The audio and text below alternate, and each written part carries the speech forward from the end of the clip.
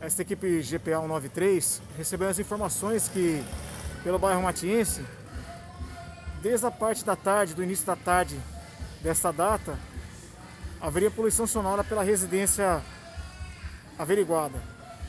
Presentes pelo local, a viatura do GPA 193, constatamos a poluição sonora, onde será lavrado o Bravo Oscar, o nosso BO, e em seguida o auto de infração e multa.